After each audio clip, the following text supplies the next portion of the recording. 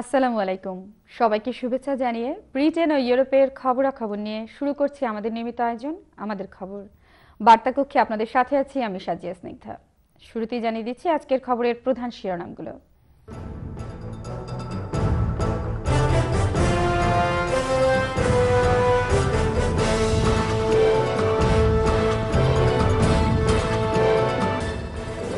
ব্রিটেনে আশাব্যঞ্জকভাবে বৃদ্ধি পেতে শুরু করেছে আত্মকর্মসংস্থানের। এশিয়ান ভয়েস পলিটিক্যাল ও পাবলিক লাইফ অ্যাওয়ার্ড দুই জিতল চ্যানেল আই শাহবাগ স্কয়ারের সাথে সমন্বয় রেখে অভিযুক্ত কাদের মোল্লার ফাঁসির দাবিতে লন্ডনে বিক্ষোভ।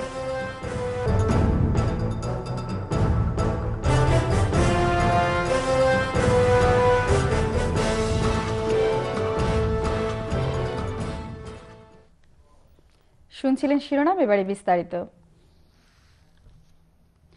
ব্রিটেনে যে মুহূর্তে চাকরিজীবীদের সংখ্যা কমে আসছে, ঠিক তখনই আত্মকর্মসংস্থানের হার আশাব্যঞ্জকভাবে বৃদ্ধি পেতে শুরু করেছে।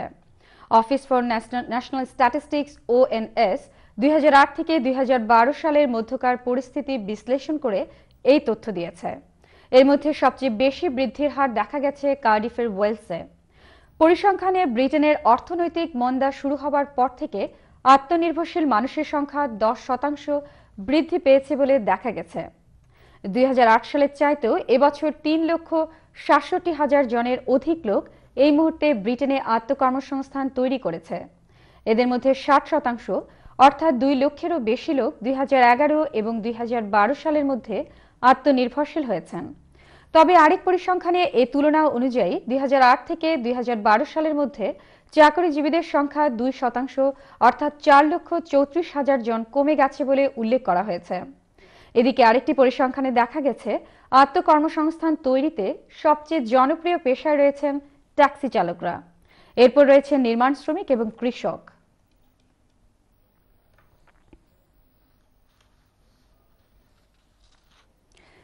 এশিয়ান ভয়েস পলিটিক্যাল ও পাবলিক লাইফ অ্যাওয়ার্ড দুই জিতল channel I. British house of কমন্সে অনুষ্ঠিত এক অনাড়ম্বর অনুষ্ঠানের মাধ্যমে এশিয়ান চ্যানেল অব দ্য ইয়ারের এ অ্যাওয়ার্ড প্রদান করা হয়। আব্দুল্লাহ সোহানকে সাথে নিয়ে বিস্তারিত জানাচ্ছেন এম এ আর মুরা যুক্তরাজ্য থেকে প্রদানকৃত এশিয়ান ভয়েস পলিটিক্যাল ও public life অ্যাওয়ার্ডে best Asian television channel of the year two thousand thirteen award অর্জন করল বাংলা ভাষার প্রথম স্যাটেলাইট চ্যানেল চ্যানেল আই।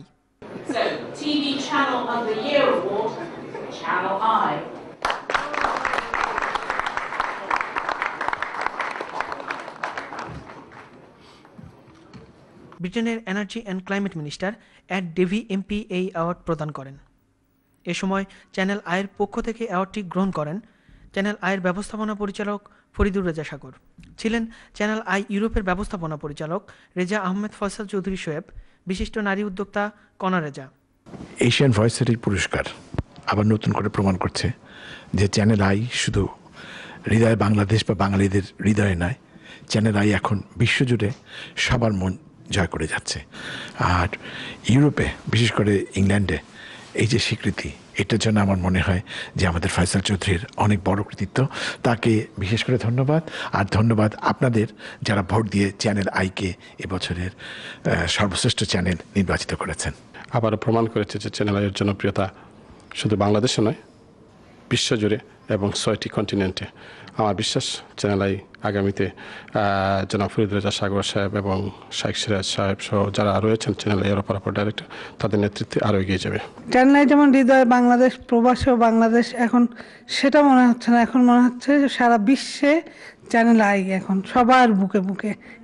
আঠাশটি ক্যাটাগরিতে ব্রিটিশ স্বরাষ্ট্রমন্ত্রী ছাড়াও পাঁচজন বর্তমান ও সাবেক মন্ত্রী রাজনৈতিক ব্যবসায়ী সাংবাদিককে এই অ্যাওয়ার্ড প্রদান করা হয়। এ সময় অনুষ্ঠানে আগত অতিথি ও আয়োজকরা কথা বলেন চ্যানেল আয়ের সাথে uh, to celebrate not just the fantastic work of Asian uh, Voice, of course, but also many people in politics, in business, in academia, in the media, who play their role in trying to improve Britain as a country and make our make our mark in the world as well. to come here and uh, achieve the award. Uh, I didn't realize that I mean I would uh, achieve uh, this award. এছাড়া award প্রাপ্তিতে channel আইকে সাধুবাদ জানিয়েছেন অনুষ্ঠানে আগত অতিথিরা It's been a wonderful award ceremony. Channel I deserves to be the channel of the year television station. They've done a marvellous job here and in Bangladesh, and it's great that we honour them here in the House of Commons. Broadcaster of the Asian broadcaster of the year যে খুব গর্বিত ওর channel তো খুব ভালো কাজ করতেছে specially Bangladesh Africa European ইউনিয়নে Channel I should be very proud that they also won award an award for Broadcaster of the Year. এ অনুষ্ঠানে হাউস অব কমন্সের সাবেক স্পিকার ও লটসভা সদস্যরা উপস্থিত ছিলেন। মা মাটি ও দেশীয় শিল্প সংস্কৃতি ও ঐতিহ্য তুলে ধরার মাধ্যমে চ্যানেল আই অনেক আগেই প্রমাণিত করেছিল তাদের স্লোগান হৃদয় বাংলাদেশ এবার ব্রিটিশ হাউস অব কমন্স থেকে প্রদানকৃত এশিয়ান ভয়েস অ্যাওয়ার্ডে সেরা চ্যানেলের মর্যাদা প্রাপ্তির মাধ্যমে প্রমাণ করল তাদের আরেকটি স্লোগান প্রবাস ও বাংলাদেশ লন্ডন থেকে এম ইয়ান মুরাদ চ্যানেল আই। মানবতা বিরোধী অপরাধের অভিযোগে অভিযুক্ত কাদের মোল্লার ফাঁসি এবং অপরাপর যুদ্ধাপরাধীদের বিচারের দাবিতে লন্ডনে বিক্ষোভ সমাবেশ করেছে কয়েক হাজার বাঙালি। তবে একই স্থানে এই রায়ের বিরোধিতা করে সভা করেছে বেশ কিছু সংখ্যক প্রবাসী।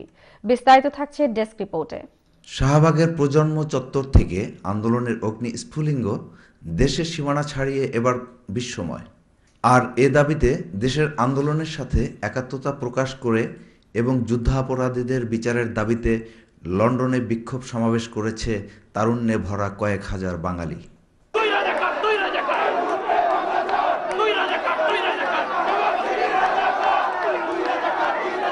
লন্ডনের আলতাবালি পার্কে উপস্থিত জনতা এ সময় মানবতা বিরোধী অপরাধের দায়ে অভিযুক্ত কাদের মোল্লার ফাঁসির দাবি জানান। আজকে আমরা এসেছি বাংলাদেশে যে কাদের মোল্লার রায় ঘোষণা করেছে, আমরা সেটা মানি না।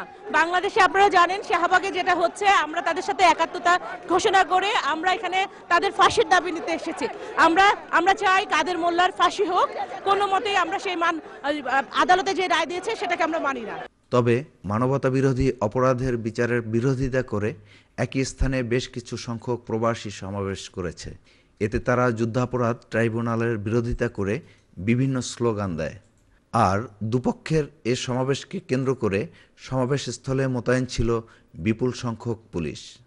S M Mahbub channel I news desk Bangladesh caterers অ্যাসোসিয়েশনের পক্ষ থেকে লন্ডনে নিযুক্ত বাংলাদেশের নবনিযুক্ত হাই কমিশনার মিজারুল কায়েসকে সংবর্ধনা দেওয়া হয়।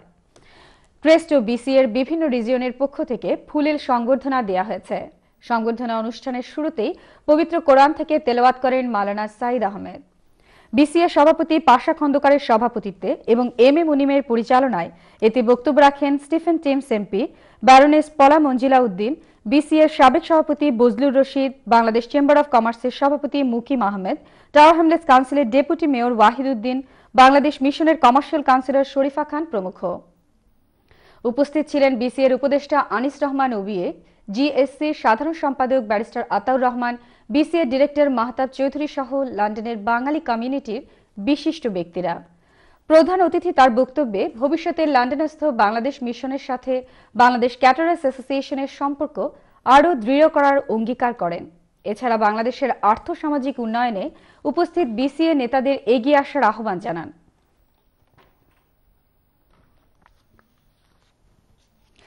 বাংলাদেশের স্বাধীনতা যুদ্ধকালীন মানবতা বিরোধী অপরাধের সাথে জড়িত কসাই মোল্লা খ্যাত কাদের মোল্লার বিচারের রায়কে কেন্দ্র করে শুরু হওয়া আন্দোলনকে সমর্থন করে এবং অপরাপর যুদ্ধাপরাধীদের বিচারের দাবিতে সভা এবং বিক্ষোভ মিছিল করেছে যুক্তরাজ্যের তেত্রিশটি সংগঠনের সমন্বয়ে গঠিত সাপোর্ট ক্রাইম ট্রাইব্যুনাল মোর্চা। বৃহস্পতিবার পূর্ব লন্ডনের মন্টিফেরি সেন্টার থেকে এই দাবি নিয়ে শুরু হওয়া মিছিল শেষ হয় আলতাবালি পার্কস্থ কেন্দ্রীয় শহীদ মিনারে গিয়ে। মিছিল পরবর্তী এক সংক্ষিপ্ত সভা থেকে উপস্থিত বক্তারা অবিলম্বে যুদ্ধাপরাধের অভিযোগে অভিযুক্ত কাদের মোল্লার যাবজ্জীবন কারাদণ্ড বাতিল করে ফাঁসির জোর দাবি জানান। এছাড়া এ রায়ের মাধ্যমে স্বাধীনতা যুদ্ধকালীন ত্রিশ লক্ষ বীর শহীদ এবং বীরঙ্গনাদের অবজ্ঞা করা হয়েছে বলেও অভিযোগ করেন। এ সমাবেশে সমমনা তেত্রিশটি সংগঠনের নেতৃবৃন্দ ছাড়াও বিপুল সংখ্যক প্রবাসী অংশ নেয়। আমার দেশ পত্রিকার ভারপ্রাপ্ত সম্পাদক মাহমুদুর রহমানের অবরুদ্ধ থাকার প্রতিবাদে ও দেশের বর্তমান রাজনৈতিক পরিস্থিতি নিয়ে সভা করেছে আমার দেশ পাঠক ফোরাম ইউকে। পূর্ব লন্ডনের স্থানীয় একটি সেন্টারে এ সভা অনুষ্ঠিত হয়। আমার দেশ পত্রিকার ইউকে প্রতিনিধি তারিক চৌধুরীর সভাপতিত্বে সভাটি যৌথভাবে পরিচালনা করেন ব্যারিস্টার তারিক বিন আজিজ ও নাজির আহমেদ। অনুষ্ঠানে ভিডিও কনফারেন্সে অংশগ্রহণ করে মাহমুদুর রহমান বলেন প্রবাসীদেরকে নিজ নিজ অবস্থান থেকে বাংলাদেশের গণতন্ত্রকে সুসংহত করতে এগিয়ে আসতে হবে। বর্তমান সরকারের কর্মকাণ্ডের সমালোচনা করেন, তিনি আরও বলেন, সুষ্ঠু নির্বাচনের জন্য একটি নিরপেক্ষ ব্যবস্থার প্রয়োজন। সভা থেকে উপস্থিত বক্তারা এ সময় অবিলম্বে মাহমুদুর রহমানের উপর থেকে সকল মামলা প্রত্যাহারের দাবি জানান। এ সময় অন্যান্যদের মধ্যে বক্তব্য রাখেন সাংবাদিক Abu Taher Chowdhury, Shamsul Alam Liton, doctor K M Malik BNP নেতা M A Malik, barrister M A Salam, Monowar Badruddoza প্রমুখ।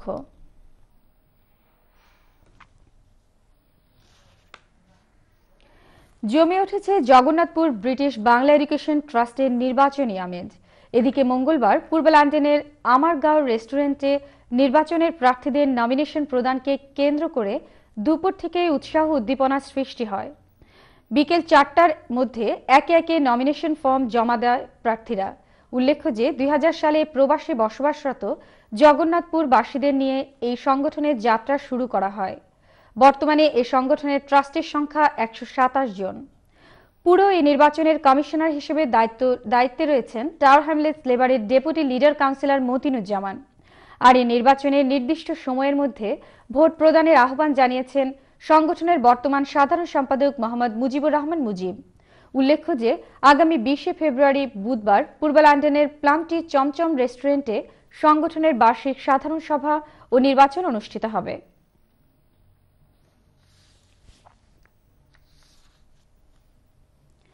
আপনারা দেখছেন আমাদের খবর। প্রচারিত হচ্ছে চ্যানেল আই ইউরোপ থেকে। যাচ্ছে ছোট্ট একটি বিজ্ঞাপন বিরতিতে। ফিরে এসে থাকছে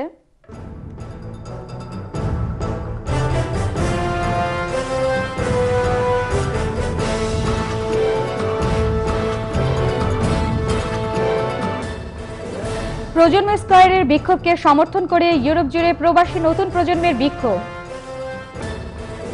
রবিবার অনুষ্ঠিত হবে মিডল্যান্ডস আওয়ামী লীগের সম্মেলন, চলছে শেষ মুহূর্তের প্রস্তুতি।